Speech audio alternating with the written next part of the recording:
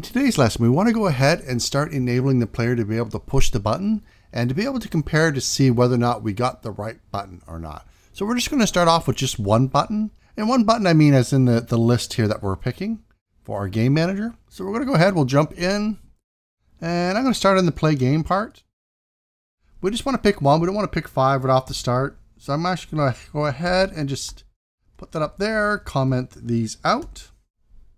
I'm going to go ahead, save that off, and then I want to start thinking about how this is going to work. So right now, if we hit play, our game goes ahead and picks one button and presses it. And when it does, it goes ahead and adds it to the list, and it tells us that it clicked element 3, which if you come up here is the blue button. Now when the player clicks the button as well, we want to be able to send that back to the game manager and check to see if we clicked the right button. So the first thing we're going to want to do is be able to have our buttons know about the game manager so we can access a method there. So let's go ahead, we'll stop that, jump into our button script. Right at the top, I'm going to make another serialized field, and this is going to be my game manager. And I'm just going to call it GM. I'll go ahead, save that off. Let's jump back into Unity.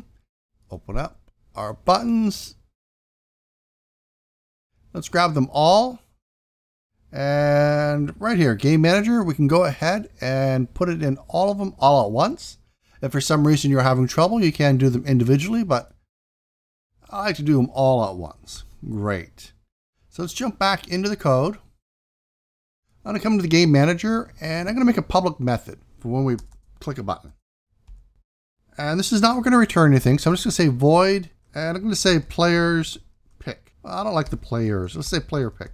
No, it's the player's pick. Let's stick with it. I am going to want to pass something in eventually, but for now we'll go ahead. We'll just leave it empty. And I just want to say debug.log player clicked a button. Great. Uh, put another space in there because I like three spaces between my methods. And I'm going to go ahead and jump back into the button.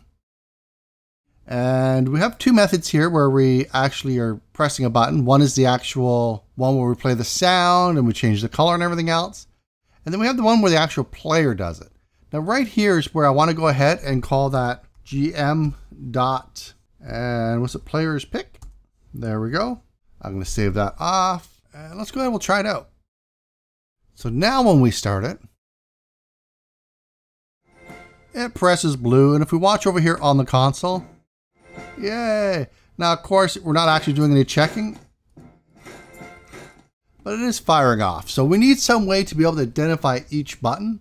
And right now we're going ahead and using the index, at least in the game manager side, we're using this, well, the element ID. I call it the index, depending what language you come from. I will be using them interchangeably. But we're going ahead and using this number here to represent what button was being pressed by the AI in our game manager script up here. Now, if you already know how to use enums, I think enums would be really good here, but we haven't covered it yet. We're probably going to be covering it right after we do the C Sharp events. So if you already know about it, go ahead and implement it here. If not, well, once we cover it, be a great time to come back and try to implement it. So in my start method up here, before I start playing the game, I want to go ahead and assign the index that we have for our array for the buttons to the actual buttons themselves. So I'm going to come into button and I'm just going to make a public for this. And it's going to be an int. And I'm just going to call it index, button index. And for this, I'm actually going to use a field. So we're going to go ahead and set the get and the set here as well. I'm going to save that off. And now we can actually just come in and set the button index for this and also get it as well. So let's go ahead. We'll jump into Game Manager and we'll need a little for loop up here. And I don't actually want to do it in start. I want to create a new method for it. So void set button index. I'll do it down here. So we'll set up a basic for loop. We've done this before. And then all I want to do is go ahead and iterate through and call that button index and have it be equal to the actual counter at. And of course, we'll want to call that up here in the start.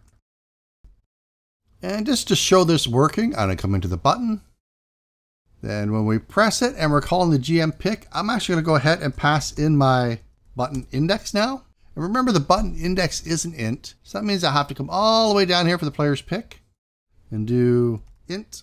And I'm just going to call this pick and I'll concat that on to the end here. So Everything should be good. Let's see if we have any errors.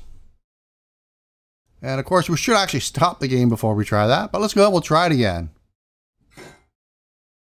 So it went ahead and it picked one, which is red. Whoops, I accidentally clicked off of there. Uh, so and picked one, which is red. So if we click it, there we go. Of course, if we click, uh, click green, which is, uh, oh, I keep looking up here, but we really should be looking over here. Should be zero. There we go. Uh, yellow is two and blue is three. So there we go. We got the proper index going. So now what we want to do is just go ahead and set an if block. And we're just going to check to see if that player's pick was right. So if pick is equal to uh, button order, I thought we called it. Let me come up here. Color order.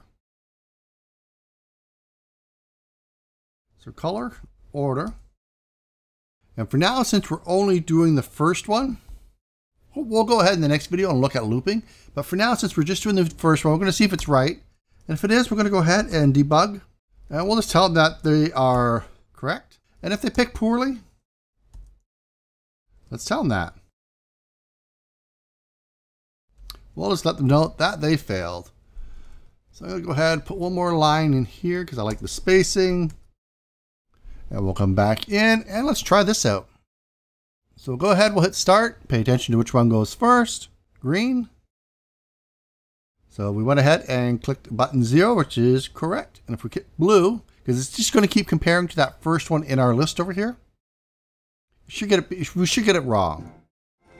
Right, there we go, fail. Any other one is a fail. So in the next video, let's go ahead and see how we can set it up to, well, start picking more of them and iterating through them for the player. So if you like the video, go ahead and hit that subscribe button down below. It really does help me out here on YouTube.